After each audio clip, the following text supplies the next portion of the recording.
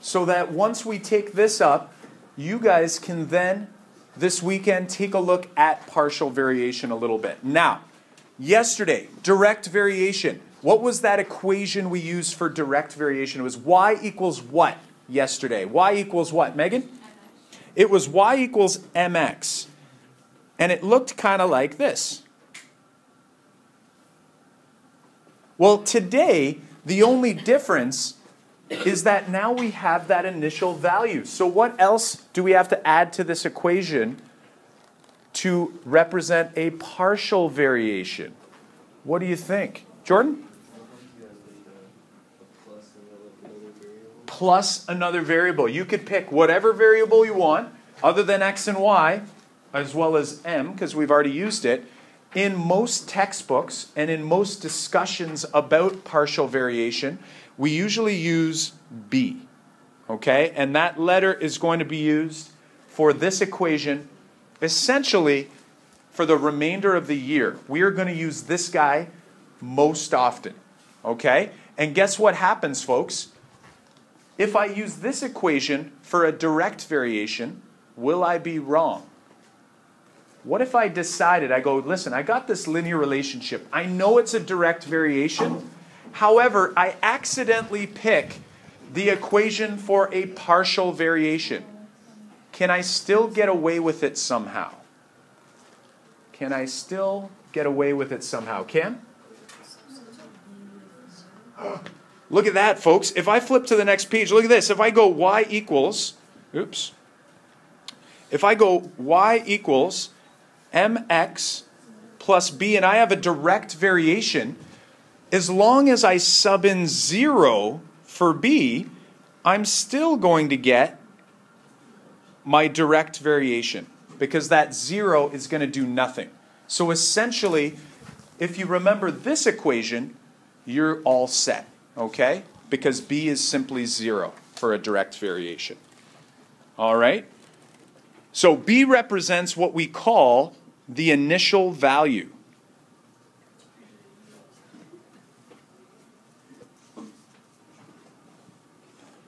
Okay? Some people call it something else. Some people call it the flat rate, kind of like when you guys are renting Beach Grove for your semi formal, they're going to charge you an initial value or a flat rate to rent the hall. Some people call it the y intercept, the place where we start on the y axis. Okay? So those are all the same thing. What's m again, folks, from yesterday? What's m represent? We used it, it's, it's got kind of an ugly long word. It's a something of something, something of something. What is that guy called again? And remember, we're dealing with direct and partial variation. What is that guy called? Oops, I think the door's locked there. Thanks, Sally. What is that guy called?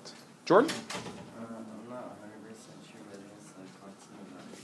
Oh, very close. Constant of variation, right? So that's what we call the constant of variation. See you guys.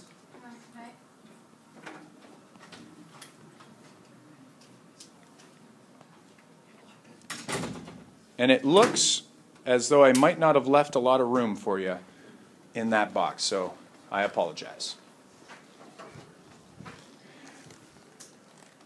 Now, the only new piece of information that you guys use here or need here before I set you guys free to get your work done is how we can calculate this constant of variation. Remember, yesterday we were going up by ones in the x, and the y value would go up by a constant value.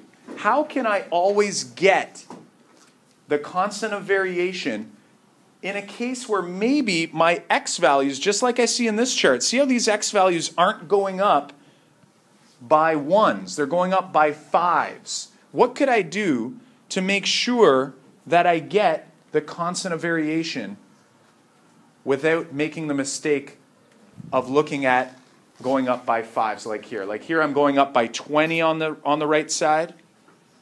The constant of variation, however, is not 20 because I'm going up by fives on this side. What can I do to find that value? what could I do? Yes? Divide 20 by 5. Nicely done. So, what we call that, okay, what we call that is essentially taking the y values, the differences in the y,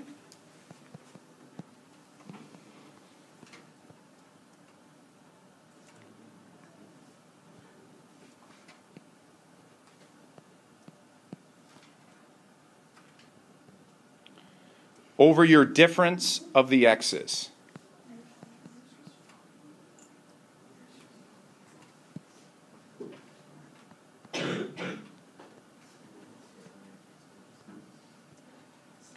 Okay, so in this case, if I take my 20 and I divide by 5, I'm going to have a value of 4.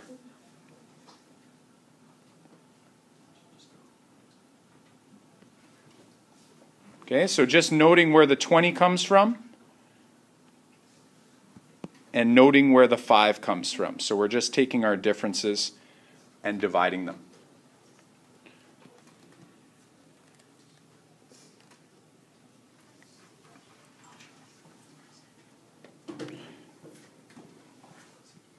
Okay, the graph is going to be a straight line, just like our direct variation yesterday, but it does not pass through the origin.